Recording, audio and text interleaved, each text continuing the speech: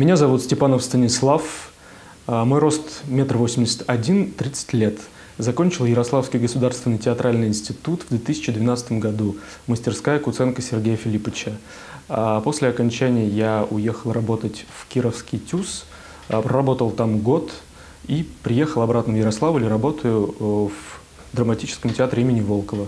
Роли абсолютно разные, от э, драматических э, до комедийных у меня были в театральной деятельности, в кино.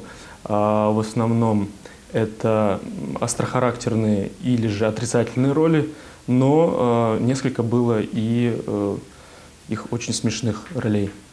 В основном это эпизоды.